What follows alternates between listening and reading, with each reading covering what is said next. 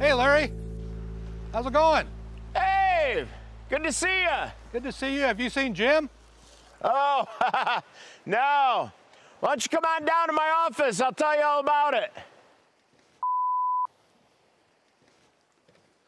So how you been, Larry? Hey, doing all right, Dave. I'm here to talk to Jim about this new fertigation system we're putting in. Fertigation, yes, he told me about that. He's out of town for the next couple weeks, so What?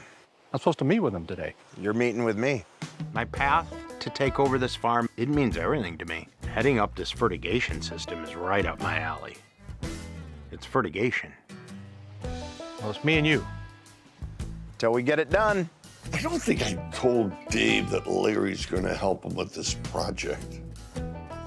Sorry, Dave. Okay.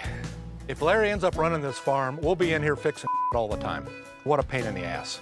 So, we got mothership one, two, three, and four. So right here is where the fertigation building goes. Mm-hmm. Right now, the guys are hand watering, hand fertilizing, and you have chances for error. This fertigation system, it just takes all that out. It's pretty cool. They put all the nutrients inside this building here, and then it all mixes, and then it distributes to each of these greenhouses. Wow. Jim's gonna love this thing. No more human error. Everything is automated. He can operate it from his phone. The fertigation building comes fully loaded. All the controls and mixing stations are already inside and are ready to go. All we need to do is mark out a spot for it and dig out some of the trenches so that we can run utility lines to the greenhouses. Once that's done, we'll drop the building down on some footings and hook up the lines, and it's good to go. That sounds like a lot of pipe.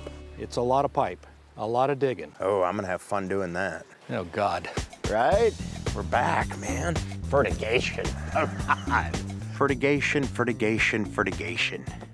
Fertigation. I was made for this.